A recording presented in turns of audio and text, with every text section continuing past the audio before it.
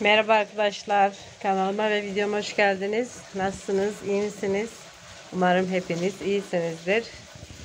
Beni soracak olursanız ben de iyiyim. Bugün çili begonyama budama yapacağım. Yapacağım işlemi de sizlerle paylaşmak istedim. Budamayı nasıl yapıyoruz? Çok soranlarınız vardı.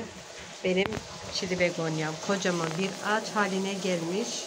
Artık benim balkonuma sığmıyor. O yüzden ben küçültme budama yapacağım. Ben budamasını nasıl yapacağım? Bunu da sizlerle paylaşmak istedim. Şu kök kısmından hiçbir dal bırakmadan şuralardan hepsini böyle düz bir şekilde keseceğim. Bir süre sonra tekrardan kendi filizlenecektir. Aynı bunu da bu 4-5 dal var. Kök var yani. Oralardan hepsini kesip atacağım arkadaşlar. Çünkü artık balkonuma sığmıyor. Geçişimi engelliyor. Yani rahat rahat balkona girip çıkmamızı engelliyor. Balkonum biraz dar. Şöyle uzaktan biraz göstereyim sizlere. Olduğu köşeyi tamamen kapatmış. Bakın benim cayı, e, camım boydan bir cam camın boyuna yetişmiş. Bazen onu da temizlerken zorlanıyorum. O yüzden budama yapacağım ki bahar aylarında daha güzel filizler versin diye. Bir de bu sene çiçek vermedi. Çiçeklenmesi için, bol çiçek açması için baharda bu işlemi o yüzden de yapıyorum. Şimdi bu odunlardan kurtaracağım öncelikle. Ondan sonra budamasına geçeceğim. Ben buraları videoya almayacağım. Çünkü odunu çıkarırken çekmem biraz imkansız olacak. Onun dışında hepsini sizlerle paylaşacağım. Bunu odunundan kurtardım. Şimdi hemen geliyorum budamasına. Ben bıçakla yapacağım biraz kısımları. Ee, kalın olduğu için makas kesmeyecekti. O yüzden bıçakla kesiyoruz. Şöyle hemen bakın şuralarda boğumlar var. Bu bıçağı gösterdiğim yerde oraların hemen şöyle bir iki santim üstünden derev bir şekilde kesebilirsiniz. Ben buralardan kesimini yapacağım.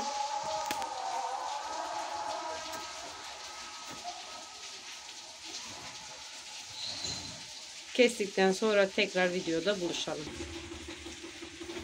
Hepsini kestim. Bu boyda bıraktım kök kısımlarını. Gelişimleri nasıl gider daha sonra sizlerle tekrar bir video çekip paylaşırım.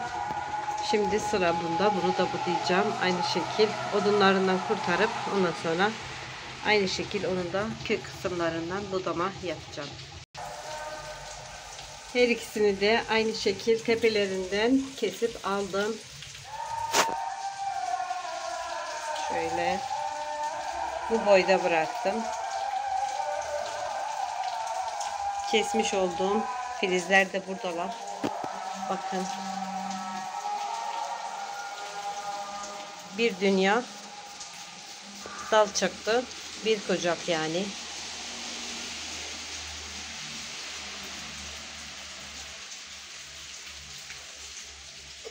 Bunların bir kısmından üretim yapacağım. Bir kısmını da atacağım arkadaşlar.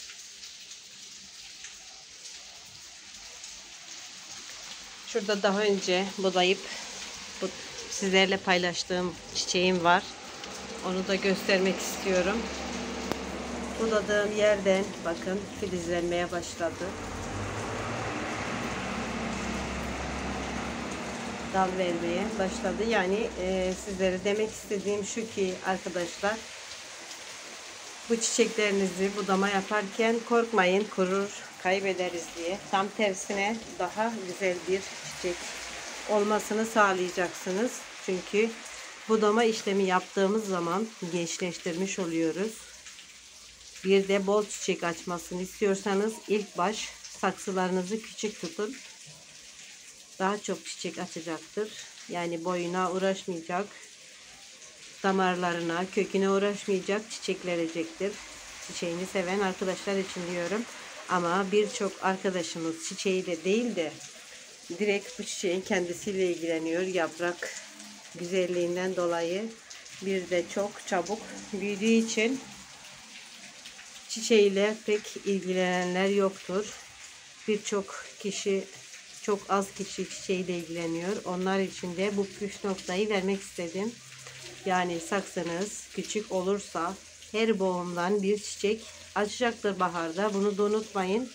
Ektiğiniz zaman bu gibi çiçekleri küçük bir saksıya ekerseniz size her boğumdan bir çiçek verecektir. Boğum demek istediğimde hemen şu yaprakların dipleridir. Yani boğumlar orası oluyor. Oralardan bol bol salkım salkım çiçek verecektir bu çiçeğiniz. Bunu da unutmayın arkadaşlar. Benim videom bugünlük bu kadardı. Bir başka videoda görüşmek üzere arkadaşlar. Hoşçakalın. Sağlıkla kalın.